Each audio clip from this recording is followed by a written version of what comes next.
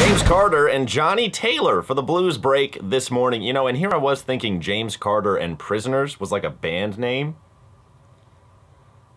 You learn something new every day. Let me tell you what. Hey, before we get started with the blues break uh, story today, I want to I want to take a short tangent, if you will. Just you know, indulge, indulge me for a second. I want to talk about something that happened to me yesterday. Um, so, there I was, organic in Kroger, and uh, I was getting some granola, and a man started staring at me from the other end of the aisle I was in.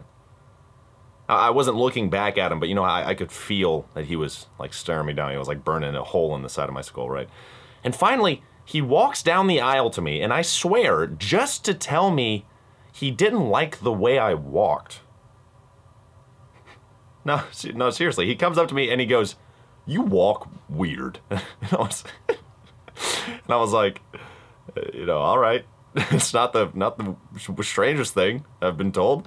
And look, the reason I bring this up, uh, sometimes people, they just bring judgment and hate. You know, this isn't a great example because this was just the funniest thing that's happened to me this week. But sometimes, sometimes it's not funny. Right? People are hurtful.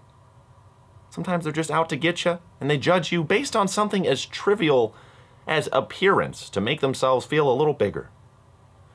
And you know, I just I wanted to shed light on the fact that these people are just insecure and hurt themselves.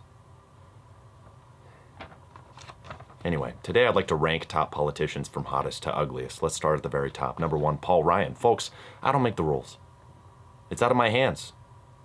I'm just here to relay facts, and the fact is, Paul Ryan is the hottest hunk in the game right now. Number two, Joe Biden. You and I both know Joe Biden looks exactly like John Stamos if he were older and recovering from a heroin addiction. That makes him edgy. Number three, Nikki Haley. Mrs. Haley is real pretty. Not as pretty as Joe Biden, but hey, that's why she's at number three. Number four, Sean Spicer. Folks, let's face it. Sean Spicer is the fourth hottest politician. He was actually in 27th place just two weeks ago but he jumped way up recently when it was revealed that he looks a lot like Bob from the new season of Stranger Things, and everybody loves Bob.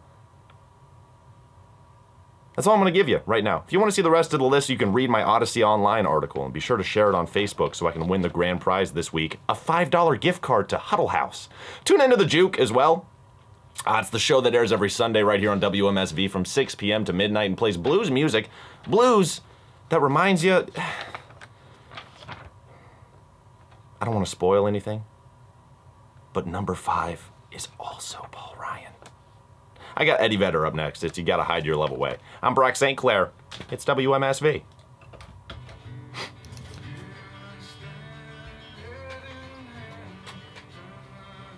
All right. Need a haircut. Should get a haircut today. Yeah. Yeah. All right. If this goes in the trash can, it's going to be a great day. It's probably it's probably not fair.